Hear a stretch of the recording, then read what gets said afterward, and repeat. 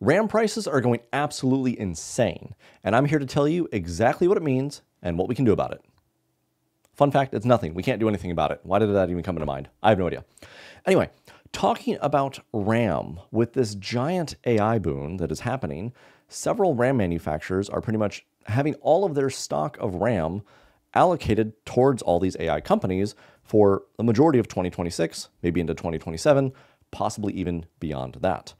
And generally, what that means for us as consumers is that everything is going to get more expensive unnecessarily and unfairly. RAM used to be one of those components that, as it was in production longer, the prices would get lower and the sizes would go higher. And that was great for a good while. I recently was able to get 96 gigs of DDR5 RAM for I think 240 bucks, something like that. It was a really, really, really good deal. As of today, which is December the 4th, you can buy 32 gigs of RAM for about $350, and you can buy 64 gigs of RAM for almost $700.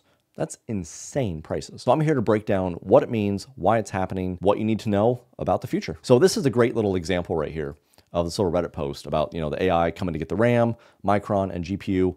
It's going to affect way more than that any single device that has RAM inside of it, if the manufacturers do not have a stockpile, it's going to go up. PCs, laptops, desktops, gaming computers, RAM sticks themselves, phones, tablets, TVs, refrigerators, if they're the smart refrigerators, everything that uses any sort of RAM, including the NVMe SSDs and some SATA-based SSDs, because those also have RAM embedded in them.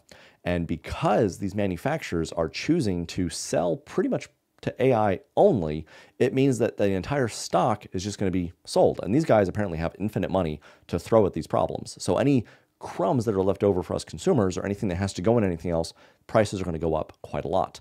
So with that, I would definitely recommend that if there's something that you need, it's a terrible time to buy it, but it's only going to get worse. And that's the hardest part. That right now, the cheap prices that we see, 600 something dollars, $700 for 64 gigs of RAM, that could double again. I mean, it's absurd to think of, but when there's no manufacturing of this going on, and there's nothing available, nothing, nothing available, it's going to happen. This was similar to when the shortages happened with COVID and the shutdowns, where a lot of prices of things went up. And I remember lumber was one that was just absurd in the pricing for lumber. That stabilized, it came back down.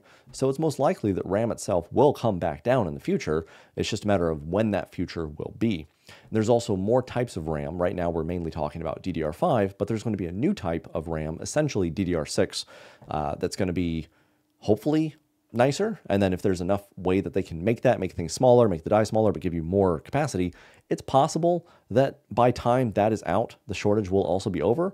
But at the same token, if that RAM is so much better and it can run these programs and run AI better, well, it's just going to keep being a rinse and repeat cycle. Another thing that's going to be affected by the shortages are going to be the game consoles. PS5, the Nintendo Switch, the Switch 2, your Steam Deck, everything that's also a console, the Xboxes, that's going to be hit really hard as well. Let's look at some RAM pricing real quick, just to, just to get kind of an idea of what's going on. I just went to Newegg and I just searched up DDR5 RAM, 32 gigs of RAM, $350. 16 gigs of RAM, and this is DDR, this is DDR5, $190 for 16 gigs of RAM. In my RAM video, I said that if you had 32 gigs of RAM or like less than 32 gigs of RAM, you're committing a crime.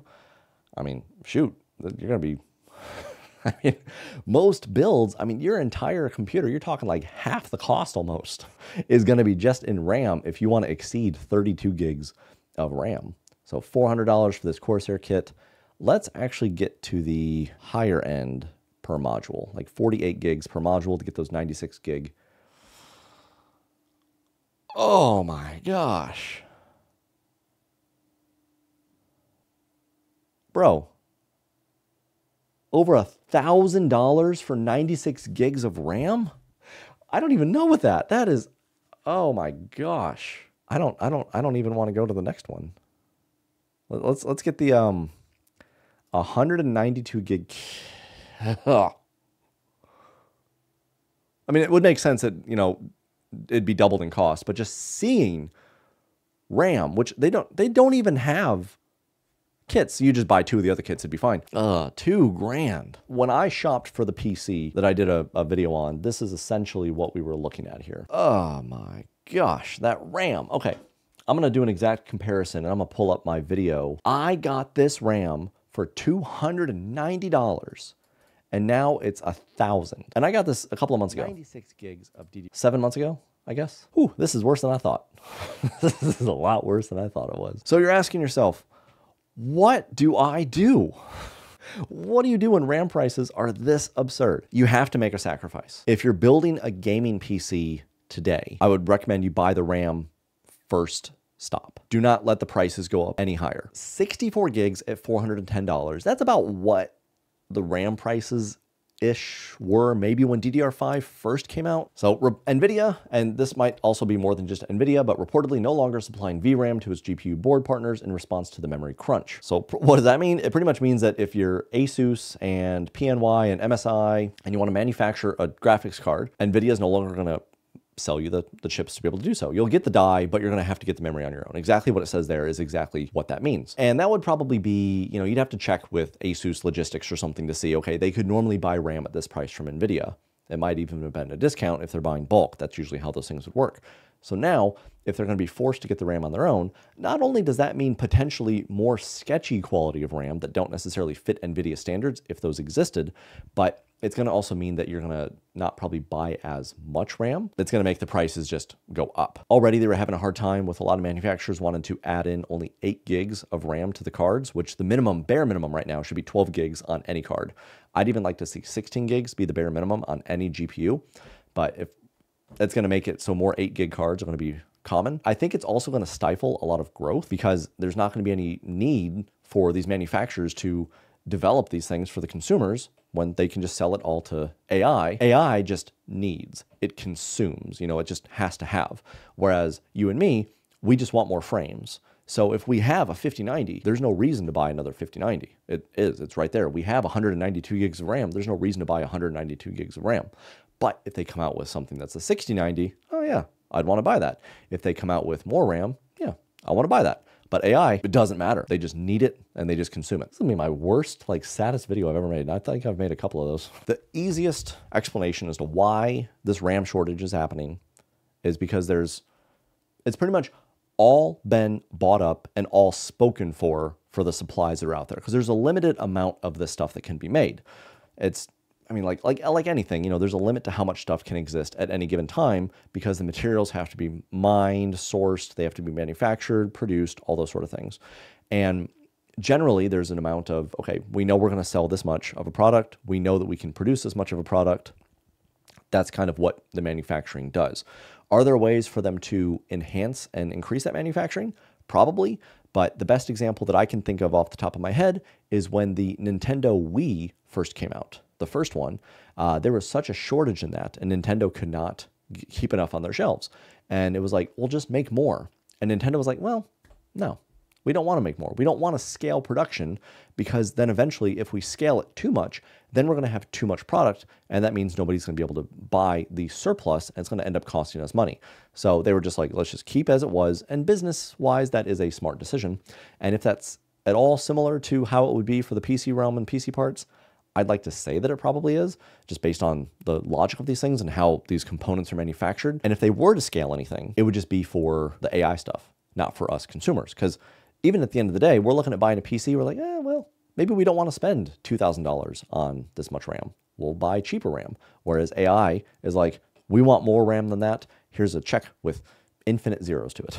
Micron recently decided to get out of the game after quarter two of 2026 and focus solely on AI. And they're a big player. They make a lot of RAM for a lot of different companies. Micron has usually been relatively stable. I know that they focused with Crucial a lot, and it's one of those things that they were they were a good player in the game pretty much. They, they were focused on stability, reliability, and they're uh, they're shutting down. And so they just want to sell it to AI companies instead. Because Micron made RAM for a handful of different manufacturers. Micron getting out of the game, it's going to make it more difficult for the consumers because these two other manufacturers can be like, well, why shouldn't we sell it for more money? Curious question that I have about some of this RAM though is that if we have lifetime warranties on the RAM, will you still get that RAM? Everything just points to AI infrastructure. They need to buy AI, and that's as simple as it is.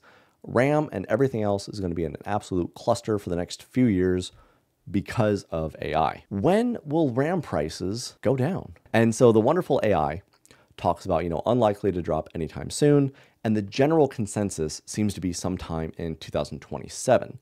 a lot of it has to do with the thought that AI, just as they say right there, bubble burst. The AI stuff is just going to break and everything's going to come crashing down, just like the dot com bust and then the housing market and then the you know, everything. Just like everything has to have this like, well, it's going to fall. And personally, professionally, AI has taken such amazing strides that until they can find a way to make AI do as much as it's doing now, but with way less power consumption and way less processing power and way less RAM, I don't see this as being anything that's going to change at all for at least three or four years because there's no reason for it to because we keep having all these people that keep using these things. And even if you don't want to use it, simple Google searches shove AI everywhere. Unless there's something on the economy side that's going to cause it to bust that I'm not aware of, technologically speaking, there's no reason for this to slow down in any capacity. Now, if we run out of water from cooling these things, yeah, that would probably cause it too. But then we're just going to find a way to get these things running in space, you know? I don't know.